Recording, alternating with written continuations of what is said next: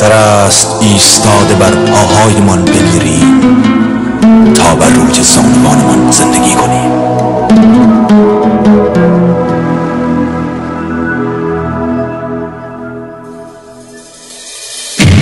گر بدین سان زیست باید پست من چه بی شرمم اگر فانوس عمرم را به رسوایی نیاویزم. بر بلند کاج خشک کوچه بنبست.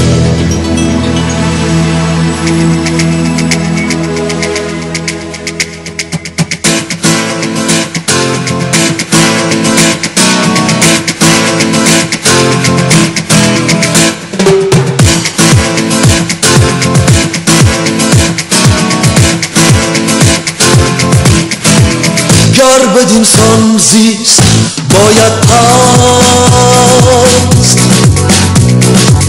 من چه بی شرمم اگر فانوس عمرم را به رسوایی نیاویزم بر بلند کاج خشک کوچه بنبست. گر بدین سان مرد باید پاک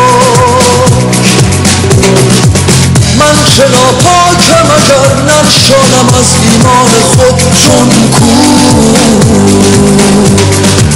یادگار جاودانی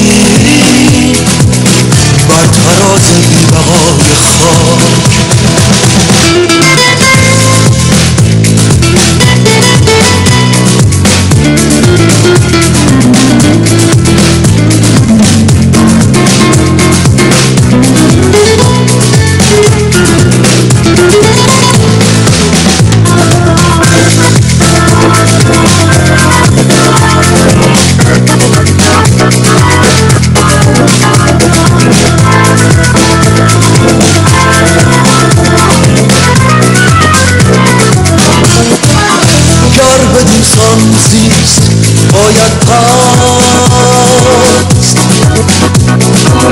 من چه بی شرمم اگر فانوس عمرم را به رسوایی نیاویزم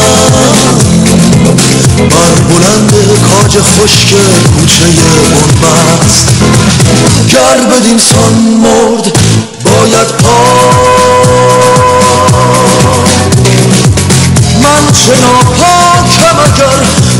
جانم از ایمان خود جان بود.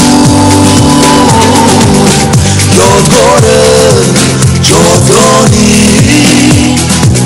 بر پراز دیوهای خاک. گر بدین سانزی